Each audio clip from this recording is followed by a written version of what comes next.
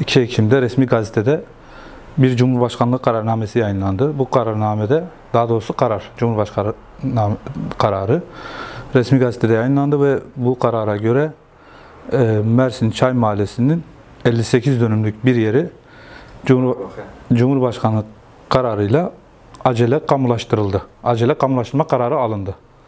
Yani direkt oradaki vatandaşların e, özel mülkiyetine, taşınmazlarına, arsalarına el konuldu bu kararla. Acele kamulaştırma kararı nedir?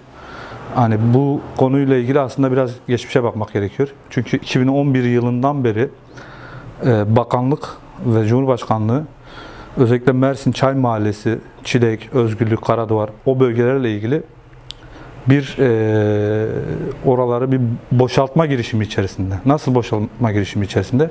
2011 yılında Çevre ve Şehircilik Bakanlığı orasını yine acele kamulaştırma kararı almıştı ve kentsel dönüşüm kapsamında oralar yıkılma ile ilgili kararlar alındı.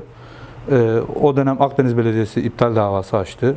İptal davaları açtı bu kararlara karşı ve hukuk mücadelesi sonucunda Danıştay bu kararları iptal etti ve bu kararlar bir şekilde yürürlüğe girmedi o bölgelerle ilgili.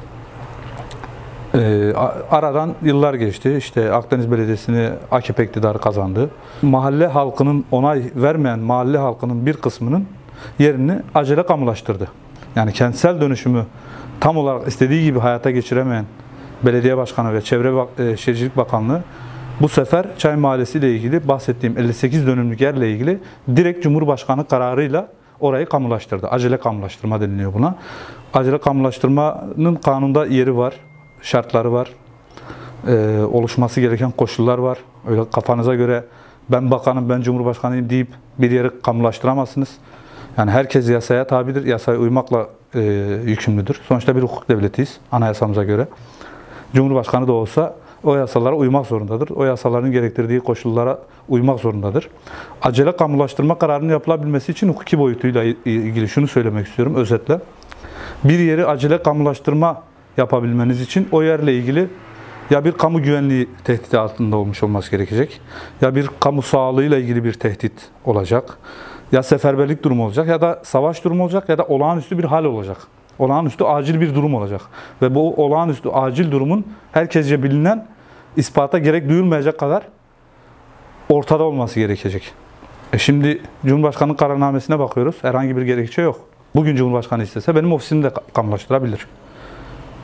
Yani özel mülkiyet hakkının ihlalidir. Yaşam hakkının ihlalidir. Ee, Birçok ihlali de barındırıyor içinde. O coğrafyada yani bahsettiğim az önce 5 mahalleden bahsettim. Çay, Çilek, Özgürlük, Karaduvar e, mahallesinden bahsettim. Burası dediğiniz gibi 2010 yılından beri, 2011 yılından beri e, siyasi iktidar tarafından bir şekilde burada bir hem rant sağlama amaçlı hem oradaki sosyolojiyi değiştirme amaçlı e, birçok sebebi var bize göre. Siyasi sebebi var. Çünkü orası e, Kürt nüfusunun, Kürt e, seçmeninin yoğunlukta olduğu bir e, bölge, alan. Ve sandıklarda da seçimlerde de bunu görüyoruz. Oradaki insanlarla bağlantılarımız var, il- iletişimimiz de var. Oranın sosyolojik yapısı belli.